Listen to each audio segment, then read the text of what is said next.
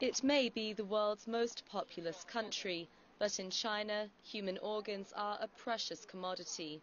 Only one in 30 Chinese in need of a transplant live to receive one. 59-year-old Zheng Baoyin is one of them. After five years and nearly 500,000 yuan, or 80,000 US dollars, he now has a new liver. And his surgeon, Dr. Liu Zhenwen, says he's making a steady recovery. I've lived in hospitals almost every day since 2008.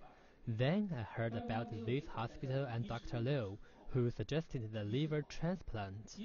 At first I thought it would be too risky, but I since learned that liver transplants are safe. After receiving a new liver, I've recovered from many other illnesses too, besides liver cancer. I can walk and enjoy food again and feel more energetic day by day. But not everyone is as lucky. Inside this room behind me is a 30 year old patient who we can't film.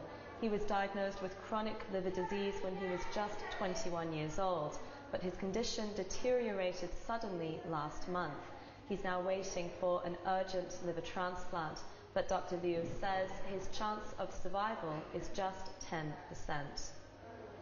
From September, a national computerized organ transplant system will begin matching donor organs from a pool of more than 160 hospitals to the patients in greatest need. Organ Transplant Committee Director Huang Jiefu says the source of its organs will change too.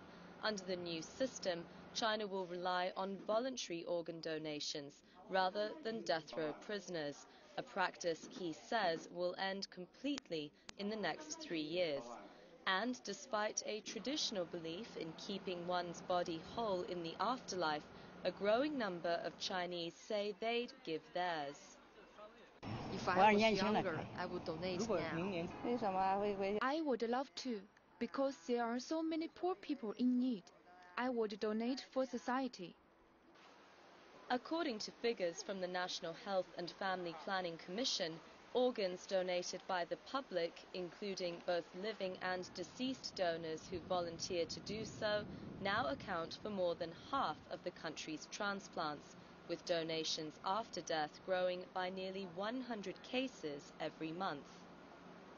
But even if more Chinese are willing to donate their organs, the new system needs to be seen as fair and totally transparent in order for them to go under the knife.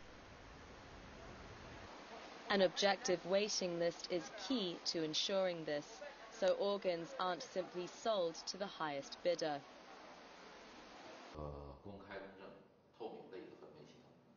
The organ distribution must be fair and transparent, or else the public may doubt whether the organs are going to their destination. This could hurt citizens' eagerness to donate. Back in the ward, Zheng says he's looking forward to finally being with his three grandchildren and doing more for others. Society has given me my second life. Now I want to make more contributions to society.